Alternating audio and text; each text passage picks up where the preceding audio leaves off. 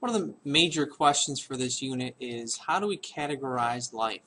Uh, how do we um, put living things into different categories, into different taxonomic groups or taxa uh, that make sense? How do we group them? Well, usually we do it according to uh, different characteristics that they have, perhaps different derived characteristics. Um, generally speaking, or the most general of these categories are the three domains. We're talking about the bacteria, the archaea, and the eukarya. We've talked about them previously. We've uh, we've watched screencasts about them previously. If if we delve in a little bit deeper into these domains, they're going to be broken up. Living things are going to be broken up into six kingdoms beyond the three domains, and these six kingdoms fall as follows. Within the three within the domain bacteria, we have the kingdom eubacteria.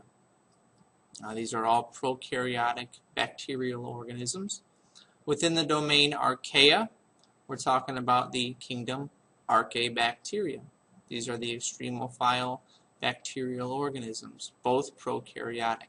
Now, we move the rest, the rest of the four kingdoms, we're talking about eukaryotic organisms within the domain eukarya. We're talking about the protists, members of the kingdom Protista, plantae, fungi, and animalia. So generally speaking, that's why I put this up here, we're going to quickly go through kind of an overview of the six kingdoms. I'm not going to go too in depth, just the, the major talking points of each of these kingdoms is what we're going to talk about. So, um, like I said, if you want to get more in depth, I have uh, I have screencasts on these individually. But first, the kingdom Eubacteria, we said they're prokaryotic, which means they don't have a true nucleus. They have a nucleoid. They have circular um, genetic material, plasmids that can be used for um, very useful in research. Uh, they're unicellular. They reproduce asexually. Um, most of them are heterotrophic. We talked about the autotrophic cyanobacteria, which are why we are here, which are, is why the Cambrian explosion happened. Uh, they introduced oxygen into our atmosphere, created the ozone layer, etc. Most of them are helpful, as I said, um, with digestion in our guts. Some of them can live in extreme conditions. Um, they're not the extremophiles. We'll talk about the extremophiles when we talk about the archaebacteria. Uh, they're very useful in water purification, in water purification for water treatment plants. In genetic engineering, you can splice genes into a bacterial plasmid and have them make different proteins for you, different enzymes for you.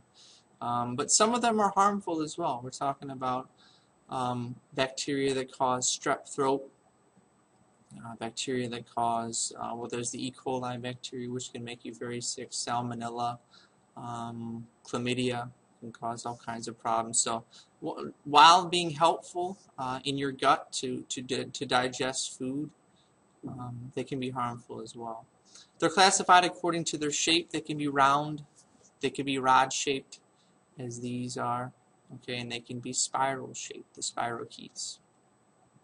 The Archaebacterium, another prokaryotic kingdom, member of the domain Archaea. They are also prokaryotic and unicellular, and they reproduce asexually. These, on the other hand, are the extremophiles. They prefer extreme conditions. The methanophiles like to live where there's high levels of methane, like in swamps or in the guts of, of different ruminants. Um, they're very useful in digestion, however. That's why cows are able to, to digest grass and break down cellulose, whereas we can't. Uh, thermophiles like it hot. Okay, um, the salinophiles, they like a high salt content, like in the Great Salt Lake. Um, they're different from the archaebacteria not only because they are extremophiles, but because they, they lack a, a particular peptidoglycan in their cell wall, a particular carbohydrate with a protein chain on it. And that sets them apart from the eubacteria, and it also makes them more closely related to us within the, the domain eukarya than they are to the eubacteria. The protists. The protists are a very, very diverse kingdom. Uh, it's a good chance that uh, in the near future, the, the, the, kingdom Protista could be broken up into upwards of five kingdoms in itself. There are five proposed candidate kingdoms that it's possible um, that the, this could be split into further. They're eukaryotic. We've started, uh, we've transitioned into having a true nucleus in organelles, complex cells. Most of them are unicellular and aquatic. Uh, some are multicellular. Uh, they're colonial, such as algae. They can reproduce sexually and asexually. You can, you're going to see evidence of this extreme diversity. Look at the metabolism. They can absorb food. They can ingest it. So some are heterotrophic. Some are autotrophic. They can photosynthesize using the sun or they can chemosynthesize using chemicals to synthesize food. Some of them are plant-like, like the algae, for instance. The algae actually gave rise to plants. Some of them are animal-like, protozoan, zoo referring to animal, and some of them are fungus-like, the slime molds and water molds. Plants, still eukaryotic. Uh, they're complex. They have a cell wall made of cellulose. Um, multicellular, they can reproduce asexually. This is a, a version of, of reproduction called vegetative reproduction, where a part of the original plant can become an entirely new organism, an entirely new plant. They can uh, reproduce sexually using seeds um, and pollen. They're autotrophic, as we've discussed. They can carry out photosynthesis in their chloroplasts um, different categories of plants. We're talking about uh, charophytes, very early plants, mosses, ferns, conifers, and the angiosperms, or the, the flowering plants. Fungi. They're eukaryotic as we continue through the, the domain eukarya, complex cells. Their cell walls, as I jump down a little bit, unlike the plants, the plants had cellulose in their cell walls. Fungi have chitin in their cell walls. Here's chitin. They're multicellular. They can reproduce sexually or asexually using spores. They're heterotrophic. Uh, specifically, they're saprotrophic, which means that they um, they release enzymes that digest food outside their body and then they absorb the nutrients in.